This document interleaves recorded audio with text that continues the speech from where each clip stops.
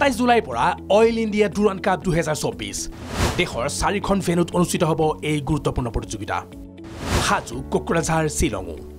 এছিয়াৰ ফুটবল টুৰ্ণামেণ্টৰ বাবে ব্যাপক প্ৰস্তুতি। অহা সাতাইছ জুলাইৰ পৰা ভাৰতৰ চাৰিটা ভেনুত অনুষ্ঠিত হ'ব এশ তেত্ৰিছ সংখ্যক ডুৰাণ কাপ ফুটবল চেম্পিয়নশ্বিপ। সাজু কৰি তোলা হৈছে কোকৰাঝাৰ আৰু শ্বিলঙৰ ষ্টেডিয়ামো। উত্তৰ পূবৰ এই দুয়োটা স্থানতো অনুষ্ঠিত হ'ব কেইবাখনো মেচ কোকৰাঝাৰ এফ চিৰ লগতে নৰ্থ ইষ্ট ইউনাইটেডেও এই টুৰ্ণামেণ্টটোত অংশগ্ৰহণ কৰিব। নৰ্থ ইষ্ট ইউনাইটেডে ইতিমধ্যে আৰম্ভ কৰিছে অনুশীলন। দেওবাৰে সৰু সজাই ষ্টেডিয়ামত ইণ্ডিয়ান প্ৰিমিয়াৰ লীগৰ আগশাৰীৰ দল নৰ্থ ইষ্ট ইউনাইটেডে অনুশীলন আৰম্ভ কৰে। উল্লেখ্য যে নৰ্থ ইষ্ট ইউনাইটেড দলত আছে পাৰ্থিৱ গগৈৰ দৰে প্ৰতিভাশালী অসমীয়া খেলুৱৈ। দলটোৰ প্ৰদৰ্শনক লৈ আশাবাদী প্ৰশিক্ষক Juan Pedro' Benali. They're working hard, they're an example. For all the players inside and outside the field, their captains.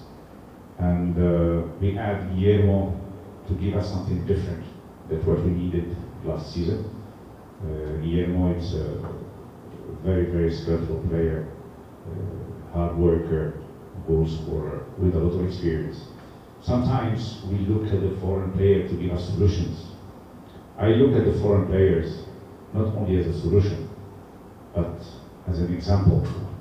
You know, but we, should not never forget that we're trying to grow up the Indian football. Talking about Northeast, we are in the best area of young talents.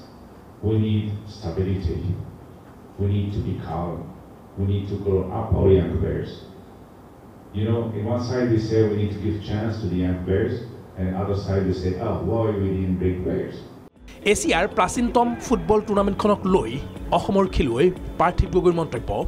Durand কাপৰ কাৰণে আমি already start কৰি দিছোঁ আমাৰ precision আৰু অকল কাপৰ কাৰণে নহয় আমি কাপৰ পৰা I S L super cup আমি তিনিখন টুৰ্ণামেণ্ট খেলিম তিনিখন টুৰ্ণামেণ্ট আমি জিকিবলৈ চেষ্টা কৰিম আমাৰ কোচেছে নিচিনাকৈ আমাৰ এইবাৰ অকল উইন উইন উইন হ'ব বুলি আমি আশা কৰিছোঁ। তাৰ কাৰণে আমি আধুনিক ৰূপত নিৰ্মাণ কৰা হৈছে কোকৰাঝাৰৰ ছাই ষ্টেডিয়াম। বিগত বৰ্ষৰ ডুৰাণ কাপৰ আগমুহূৰ্তত আসনৰ সংখ্যা বৃদ্ধিৰে আন্তঃগাঁথনি উন্নীতকৰণ কৰা কোকৰাঝাৰ ছাই ষ্টেডিয়ামত এইবাৰ আন্তঃৰাষ্ট্ৰীয় মানদণ্ডেৰে নিৰ্মাণ কৰা হৈছে গ্ৰাউণ্ড অলপতে ক্ৰীড়ামন্ত্ৰী নন্দিতা গাৰুচা আৰু B T R chief Pramod বড়োৱে ডুৰাণ কাপৰ ট্ৰফিটো উন্মোচন কৰে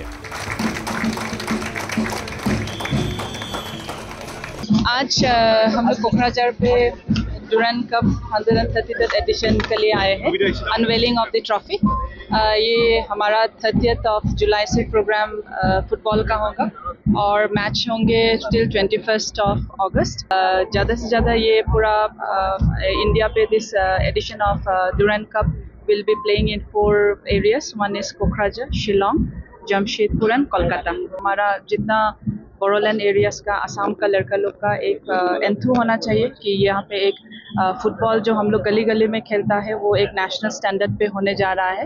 इसके हिसाब से आपका यहाँ पे जो स्टेडियम है वो भी बहुत ही अपग्रेड हो गया है দ্বিতীয়বাৰ একশ তেত্ৰিছতম যি ডুৰাণ কাপ আছে এইটো কোকৰাঝাৰত হোষ্ট কৰিবলৈ সুযোগ পাইছোঁ আৰু আহ, এইটো আমাৰ কাৰণে বহুত ডাঙৰ এটা এচিভমেণ্ট আৰু ইয়াৰ কাৰণে মই প্ৰথমতে ইণ্ডিয়ান আৰ্মিক ধন্যবাদ দিওঁ আৰু ইয়াৰ লগতে অসমত বহুত ঠাই আছিলে তথাপিতো কোকৰাঝাৰত এইটো আমাক হোষ্ট কৰিবলৈ সুযোগ দিয়াৰ কাৰণে অসমৰ মুখ্যমন্ত্ৰী ডাঙৰীয়া অসমৰ খেল মন্ত্ৰী ডাঙৰীয়ানী আহ, তেখেতসকলক মই ধন্যবাদ জনাওঁ।